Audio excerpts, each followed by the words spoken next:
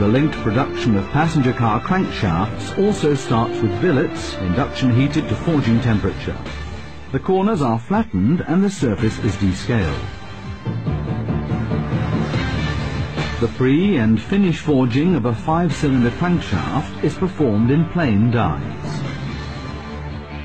Afterwards the workpiece is clipped, the flash goes to the scrap bin, while the crankshaft is transported to the next station. A twister, an operation in which five strokes of the shaft are properly aligned relative to one another by twisting.